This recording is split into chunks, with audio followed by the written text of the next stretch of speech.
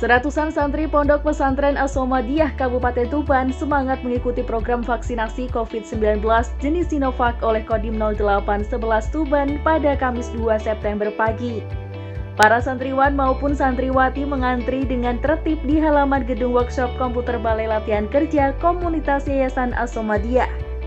Vaksin yang dimulai sekitar pukul setengah delapan pagi waktu Indonesia bagian Barat itu ditangani oleh tenaga kesehatan Puskesmas Kebonsari, Kecamatan Tuban dan dibantu oleh TNI.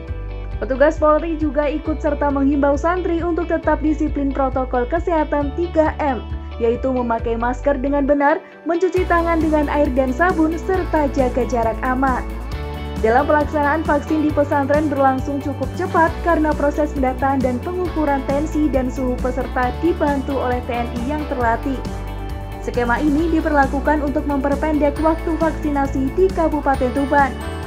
Saat dikonfirmasi reporter blog tuban.com, Solahuddin Habibi atau akrab disapa Gus Riza selaku pengasuh Ponpes Asomadiyah mengatakan, Asomadiyah mendapat jatah dari Kodim 0811 Tuban sebanyak 100 dosis vaksin. Vaksinasi tersebut sebagai prasyarat pembelajaran tatap muka yang rencananya dimulai pekan depan. Seperti halnya santri, masyarakat di Kabupaten Tuban juga diminta oleh Gus Riza ikut serta mendukung vaksin. Beredarnya kabar maupun informasi hoax harus dihiraukan dan membantu percepatan vaksinasi demi Indonesia kuat, Indonesia tangguh. Asumati dapat jatah 100 vaksin dari uh, Kodim Tuban. Uh, itu prasyarat tatap muka pembelajaran dimulai. Jadi kita bersyukur uh, kerjasama baik dengan Kodim Tuban, santri 100 sudah divaksin hari ini. Yang kedua, kita juga mendukung program negara yaitu uh, head community. Jadi uh, kekuatan komunitas harus kuat imunnya dengan divaksin.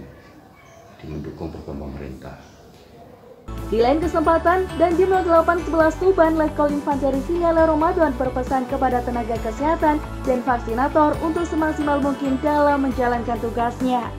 Dari Tuban, Tim Liputan Blog Tuban TV mengabarkan.